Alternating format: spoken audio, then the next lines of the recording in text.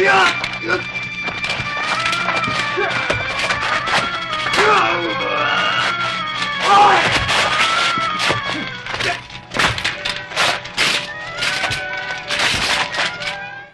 生、あの、今日は先週伺いました棒の話の続きをお願いしたいんですけど。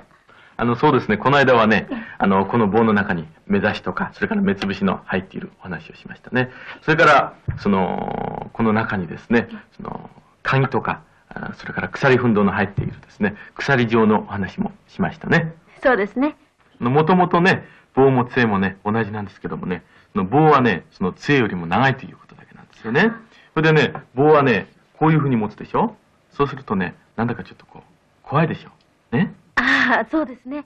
あの、でもね、こういう風につくとね、杖になるわけですね。そしてあの、ついに、えーあの、使いますとね、その怖い感じを与えないんですよね。そうですえね。ーですから忍者はね、その、主にね、こういう杖を使ってですね、それに合ったですね、その変装したわけです。山伏とか商人とか、そういうものに化けて、それでまたこういう杖もですね、そういう変わった杖に仕込んでですね、それで、まあ、目的を達したというわけですね。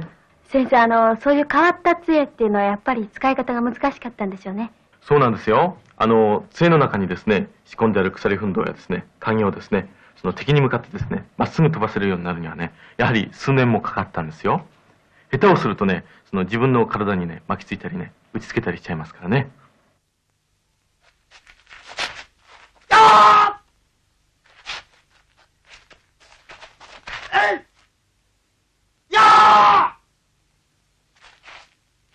仕込み杖はですね、相手を打ってですね、かわされてもですね、鎖がこうスッと伸びてですね、相手を打つというその利点があったわけですね。